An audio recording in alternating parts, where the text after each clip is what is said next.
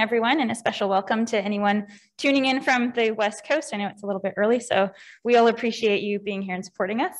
Um, today, today I will take you through the journey of the big leaf maples um, in Metro Vancouver and explore the question, are eastern gray squirrels a big problem for big leaf maples? So big leaf maple is one of the few hardwood species on the Pacific coast of Canada. They span the western coast in Washington, Oregon, and California, and in the province of British Columbia.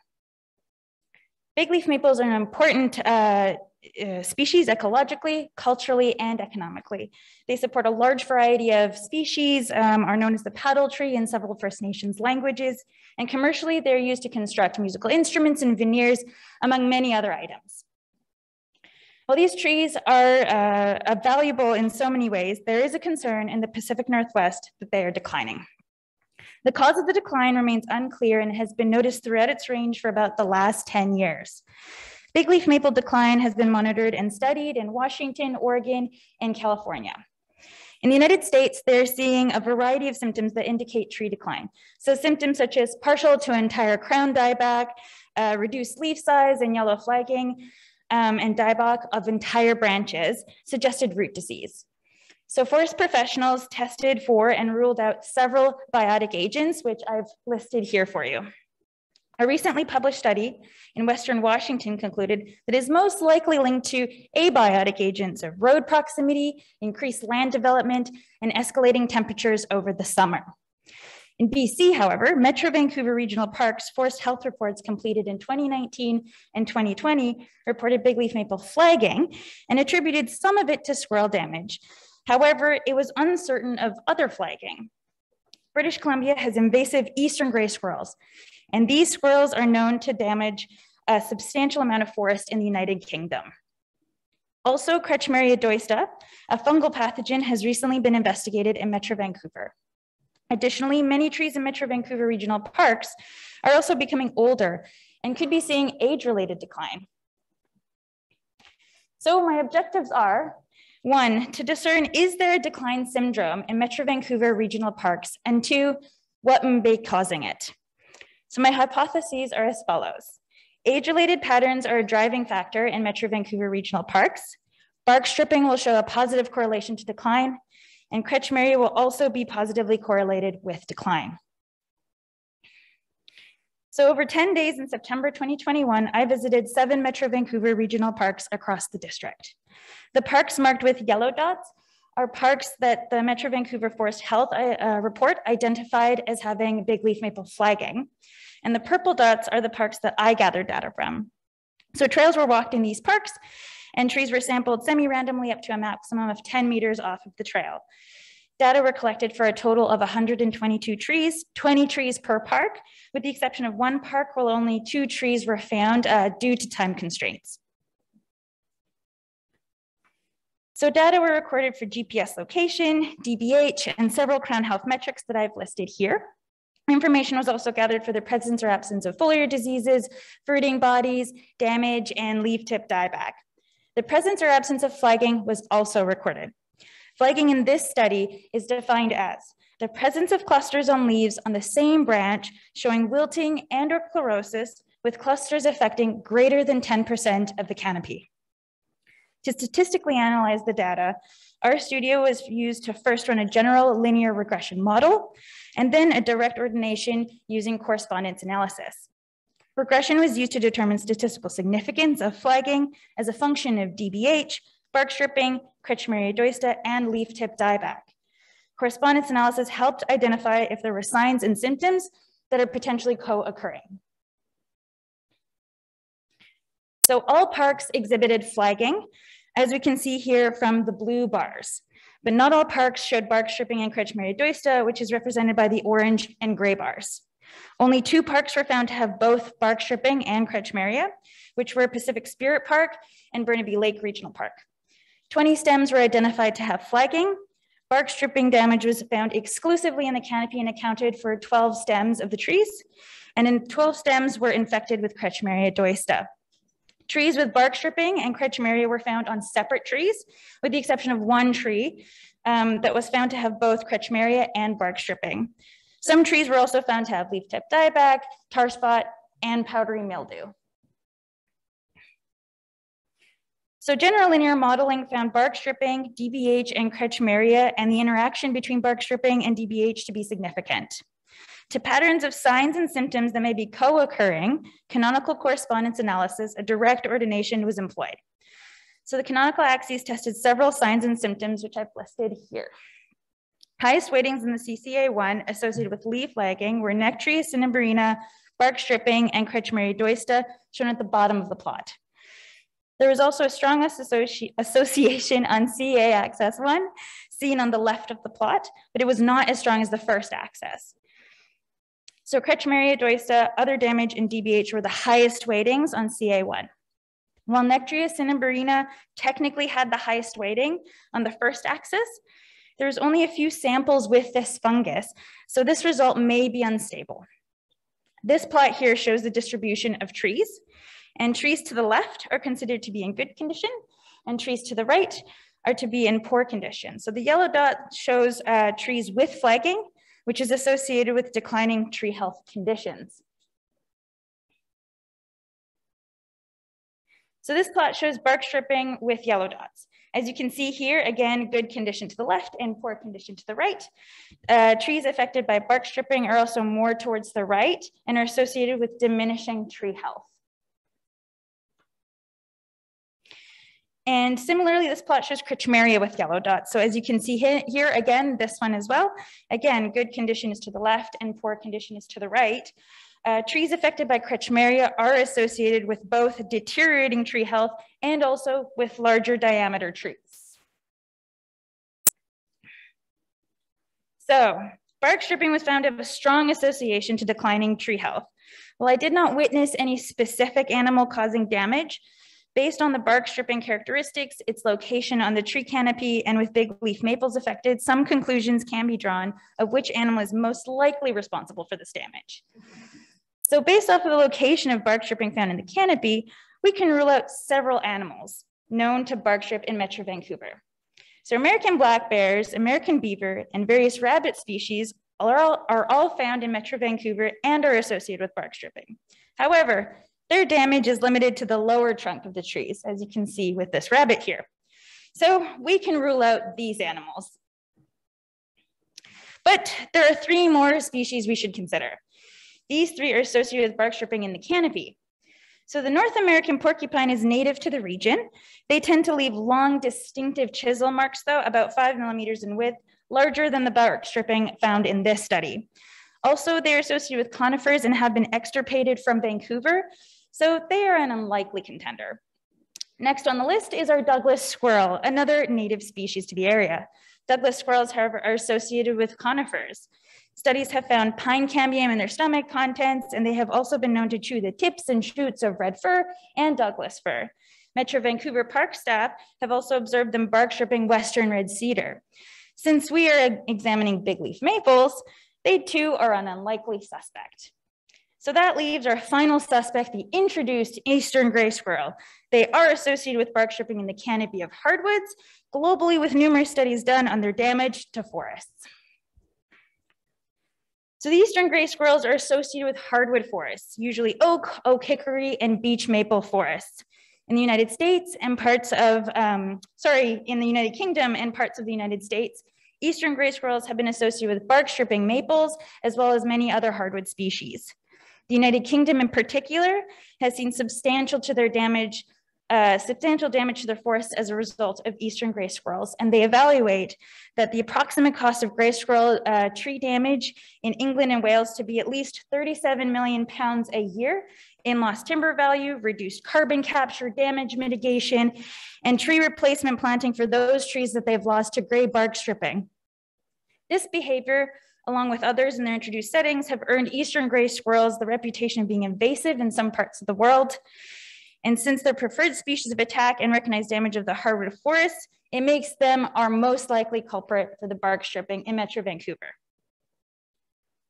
So the province of BC has deemed the eastern gray squirrel as invasive, and there are concerns on Vancouver Island that these gray squirrels are neg negatively affecting the Garry Oak ecosystem, but the BC SPCA questions this label and states that they're being used as a scapegoat. But what's interesting is that there's actually few studies published um, in BC that find eastern gray squirrels and are not having a negative impact on native squirrel populations. And it does not appear that there are studies examining their impacts on forests in BC either. In, but in the United Kingdom, however, there have been multiple studies showing the negative effects of eastern gray squirrels on the native red squirrel population, as well as causing substantial damage to forests. My study likewise found that eastern gray squirrels are most likely responsible for bark stripping, causing big leaf maple flagging, and indeed are harming their habitat. So bark stripping can be showing a concern for eastern gray squirrel behavior. Um, in Metro, the Metro Vancouver Health Report associated 20 hectares of big leaf maple flagging to squirrel damage due to bark stripping at Campbell Valley Regional Park. Um, this is currently about 3% of the 548 hectares of the park, and this needs careful active monitoring to potentially uh, prevent similar impacts seen in the UK. So professionals in the UK report that in the span of seven to eight years, um, impacts of damage can span 30 to upwards of 80% damage. Um, so this study found that all DBH classes were affected, with DBHs 25 to 43 and greater than 80 being the most affected. This could be a combination of vitality in trees, um, with younger trees being attacked, and possibly older trees producing more seed, potentially attracting more squirrels. A recent study released in 2016 states the calcium hypothesis, highlighting that higher levels of calcium in certain uh, tree species, such as maples, um, coupled with lactating squirrels, may be the cause of um, elevated bark stripping. Damage and death of younger trees can substantially damage the regeneration of forests, so this is a cause for concern. So at this point, um, the most effective tool will be monitoring and data collection on bark stripping to gauge the impacts. The UK has used several management techniques in the past, such as culling, that eventually led to the return of squirrel pie to the menu, as you can see in the picture. They're also researching an immunocontraceptive um, to be administered by food. And this is intended for population control as a potential non-lethal, low labor intensive and cost-effective management method. Shuttleworth et al. also found that using volunteer-based approach methods with the support of government for monitoring and control can be an effective management strategy. Kretzschmaria was also found to have strong associations to deteriorating tree health. This soft rot in the Ascomycota phylum affects trees by deteriorating their cellulose and lignin. And as it parasitizes the trunks and roots, strength is lost quickly as the cellulose breaks down. This can make trees vulnerable to sudden tree failure and limb loss with, student, with studies from Europe uh, showing that it can become a potential hazard for urban areas and parks.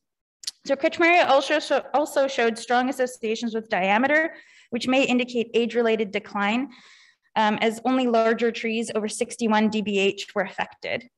This is, however, little, um, there is, however, little data available on Kretzschmaria in BC, and provincial mycologists state that there's a concern and that it's an important fungus to monitor and needs more research. Um, there is research into the use of trichoderma, which is a surface mold, um, to stop the continual growth of the fungus. Um, but collecting data and monitoring the extent of Kretzschmaria along heavily used trails would be important. Um, leaf tip dieback did not show associations to big leaf maple flagging. However, um, it was found in Pacific Spirit Park, um, but, the, but they weren't able to ascertain as to why it might be there. Um, Betzen et al. stated that their findings found a strong correlation between land development and big leaf maple decline. So this could be a potential explanation um, for some of the leaf tip dieback that's happening at Pacific Spirit Park, as well as other parks within Metro Vancouver. So as Metro Vancouver continues to develop their land, this would be something important to continue to monitor. Sooty bark disease is something that is new um, on the horizon recently. While it is common in the northeast of North America, it is something new to the Pacific Northwest. And they've identified in Washington, but it's unknown in BC at this time. Um, this is something to be aware of because it might not only be, it, it isn't only a potential risk to trees, it's definitely um, a potential risk to humans, um, for people who work in the industry, and it causes adverse health effects. So this needs to continue to be monitored. So in conclusion, bark stripping was found to have strong associations to diminishing tree health in big leaf maples, and eastern gray squirrels are our most likely culprit. Kretzschmaria deusta also has strong associations to deteriorating tree health and larger diameter trees. um, and also needs active monitoring. So as such, I would recommend initiating a volunteer-based bark stripping monitoring program in Campbell Valley Regional Park, identifying and monitoring decline in infected Kretzschmaria along heavily um, used trails, keeping an eye out for sooty bark disease, and collaborating with different organizations within the district and province, such as the BCSPCA, to create a cohesive message and approach to eastern gray squirrel management. Um, so to end this presentation, I'd like to acknowledge um, my supervisors, Professor Sean Thomas and Dave Shaw for all of their support, as well as the Metro Vancouver Park staff who've been um, assisting me and supporting me throughout this project. So thank you all for your time. uh, Adrienn. Is that coming through back there? Oh, there we are. Uh, David Shaw, you're on the line. Do you have some questions for Adrienn? Yeah, thank you very much. Um, Adrienn, that was a really nice presentation. And um, it's uh, really all new information, I guess, from the report. It wasn't all new to the Vancouver people, but it's really nice to see this done. Um, could you expound a little more on the differences between your findings and the Washington finding. Um, you know, the the folks in Washington just came out with that paper that you showed, and um, how was how are your findings really different from that finding um, more explicitly? Because that's everybody is sort of fallen onto that paper as the the key to what we're seeing down south in big leaf maple, but it seems like things are a little different um, in your area. Yeah, so um, the paper that came out in September 2021, um, it found that uh, the most likely cause is abiotic agents of road proximity, increased land development, and escalating temperatures. And the study um, looked at many different aspects of what could potentially be affecting it. They gathered soil samples. So there was a lot of detail put into that report. However, that was in Washington.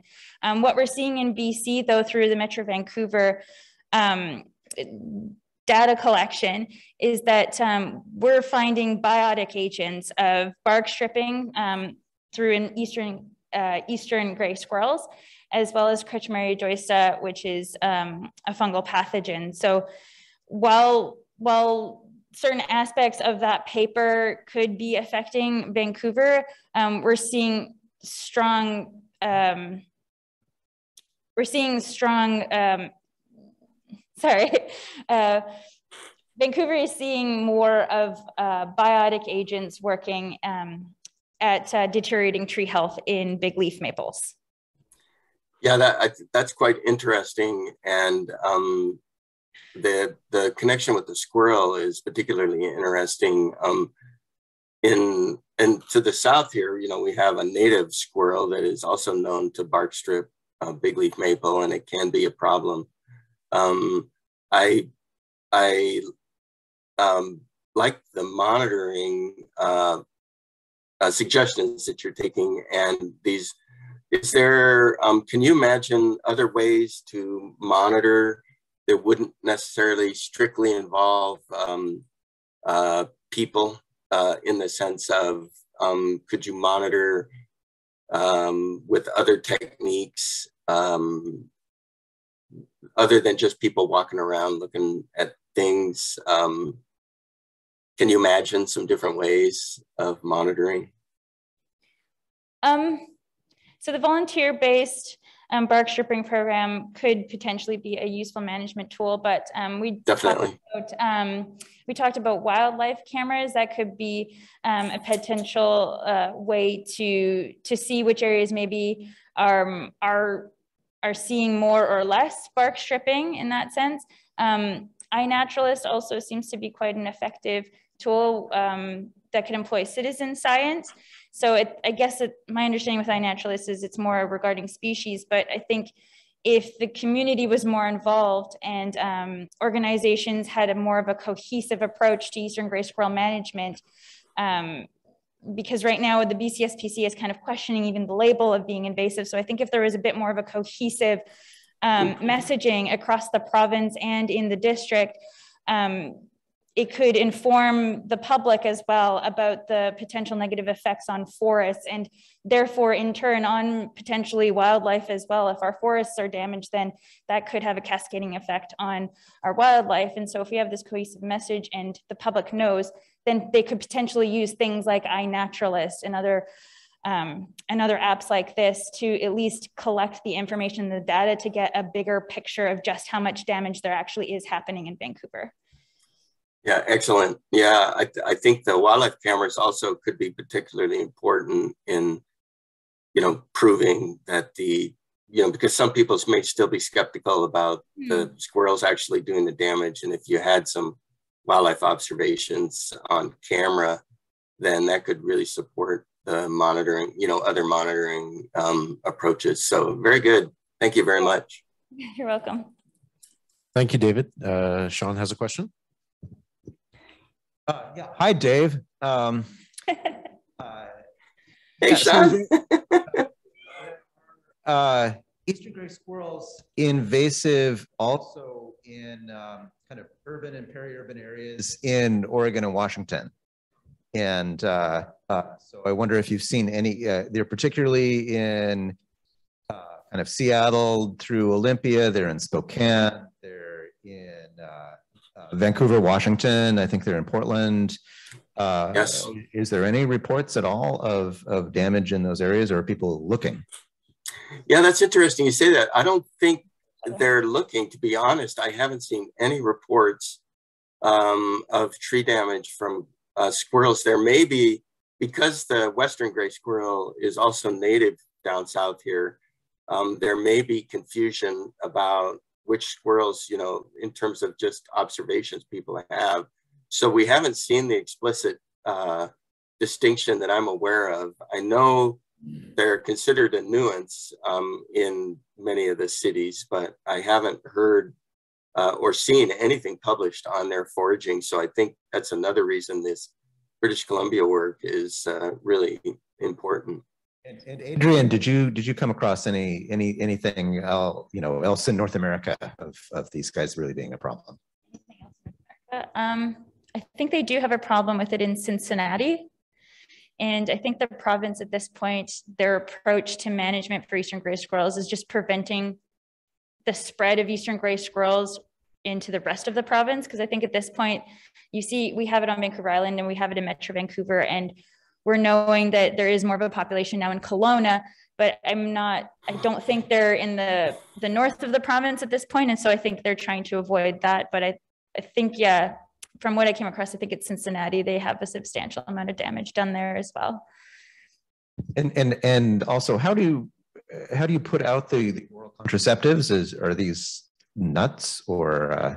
So the UK is currently doing research into that. Actually, at the moment, um, they want to have it administered by food. So I think they're looking into like a um, like a not a trap, but like a special um, box kind of a system where they would put the food in and they would ensure that this this box can only be accessible by eastern gray squirrels but they're they're in the process of figuring out which um, type of tool would be the best for that at this point in time. In washington i believe they they have tested an immunocontraceptive that they use through injection um, but that was, I think that was a few years ago when they did that study and they found that to be effective, but they also found that it did have some effects on like the body scores and created some abs abscesses, sorry, like lesions on the squirrels.